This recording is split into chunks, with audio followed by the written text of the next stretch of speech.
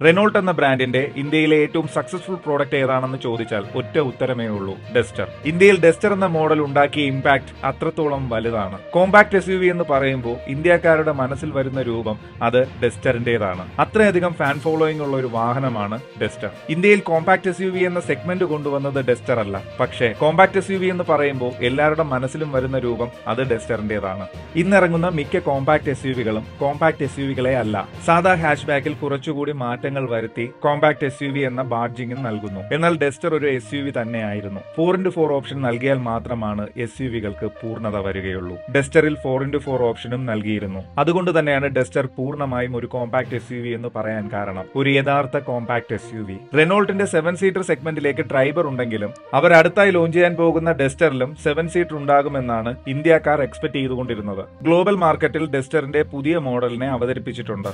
Dacia എന്ന ബ്രാൻഡാണ് ഡസ്റ്ററിന്റെ ഈ പുതിയ മോഡലിനെ ലോഞ്ച് ചെയ്തിരിക്കുന്നത്. ബിക്സ്റ്റർ എന്നാണ് പുതിയ ഡസ്റ്ററിന്റെ പേര് ഡാസിയ നൽകിയിരിക്കുന്നത്. റെനോൾട്ടിന്റെ തന്നെ മറ്റൊരു കമ്പനിയാണ് ഡാസിയ ഇന്ത്യയിൽ റെനോൾട്ട് ആണ് ഡസ്റ്ററിനെ അവതരിപ്പിച്ചിരിക്കുന്നത്. അതുകൊണ്ട് തന്നെ ഡസ്റ്ററിന് ഇനി ബിക്സ്റ്റർ എന്ന പേര് നൽകുമോ? അതോ ഡസ്റ്റർ എന്ന് തന്നെ പേരിട്ട് പുതിയ മോഡലിനെ അവതരിപ്പിക്കുമോ എന്നുള്ള കാര്യം റെനോൾട്ട് ഇതുവരെയും ഒഫീഷ്യലായിട്ട് അനൗൺസ് ചെയ്തിട്ടില്ല. എന്തായാലും റെനോൾട്ട് ഡസ്റ്ററിന്റെ പുതിയ മോഡലിനെ ഇന്ത്യയിൽ ലോഞ്ച് ചെയ്യും. എല്ലാവരും പ്രതീക്ഷിച്ച പോലെ അതൊരു സെവൻ സീറ്റർ ആയിരിക്കില്ല. അവർ ഗ്ലോബലി ലോഞ്ച് ചെയ്തിരിക്കുന്ന ബിക്സ്റ്റർ ഒരു സെവൻ സീറ്റർ അല്ല. അതുകൊണ്ട് തന്നെയാണ് ഇന്ത്യയിൽ ലോഞ്ച് ചെയ്യാൻ പോകുന്ന പുതിയ ഡസ്റ്ററിന്റെ മോഡലും സെവൻ സീറ്റർ ആയിരിക്കില്ല എന്ന് പറയാൻ കാരണം. എന്തായാലും ഡസ്റ്റർ ഇന്ത്യയിലേക്ക് വരും. പക്ഷേ അത് ഡസ്റ്റർ ആണോ ബിക്സ്റ്റർ ആണോ എന്നുള്ള കാര്യത്തിൽ തീരുമാനമായിട്ടില്ല. പുതിയതായി ലോഞ്ച് ചെയ്തിരിക്കുന്ന ഈ ബിക്സ്റ്ററിന് ഒരു മസ്കുലർ ആയിട്ടുള്ള ഫ്രണ്ട് ഗ്രില്ലാണ് ഡാസിയ നൽകിയിരിക്കുന്നത്. ഇപ്പോഴുള്ള മിക്ക ഫീച്ചേഴ്സും നൽകിക്കൊണ്ട് തന്നെയാണ് ഡാസിയ ബിക്സ്റ്ററിനെ ലോഞ്ച് ചെയ്തിരിക്കുന്നത്. പഴയ ഡസ്റ്ററിൽ നിന്ന് പുതിയ ബിക്സ്റ്ററിൽ ലെങ്ത് കൂട്ടിയിട്ടുണ്ട്. ഏകദേശം four point six metre length നൽകിയിട്ടുണ്ട്. ഇതുകൊണ്ട് തന്നെ ലോങ്ങർ വീൽ ബേസിൽ പഴയതിനേക്കാൾ കംഫർട്ടും കിട്ടും. Ten point one inch infotainment system wireless phone charging digital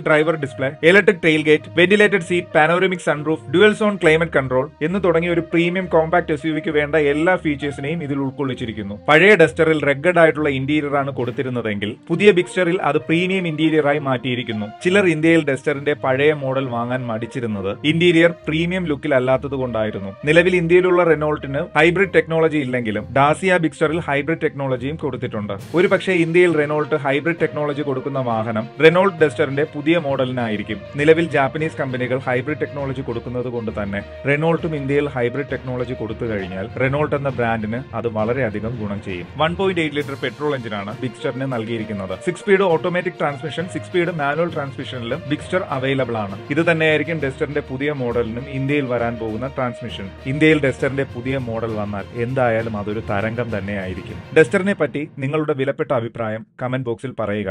നിങ്ങളിൽ എത്ര പേർ ഡെസ്റ്റർ ഉപയോഗിക്കുന്നു? പുതിയ ഡസ്റ്ററിന്റെ ലോഞ്ചിന് വേണ്ടി കാത്തിരിക്കുന്നവരുണ്ടെങ്കിൽ അവരും കമന്റ് ബോക്സിൽ പറയുക. എല്ലാവർക്കും വണക്കം.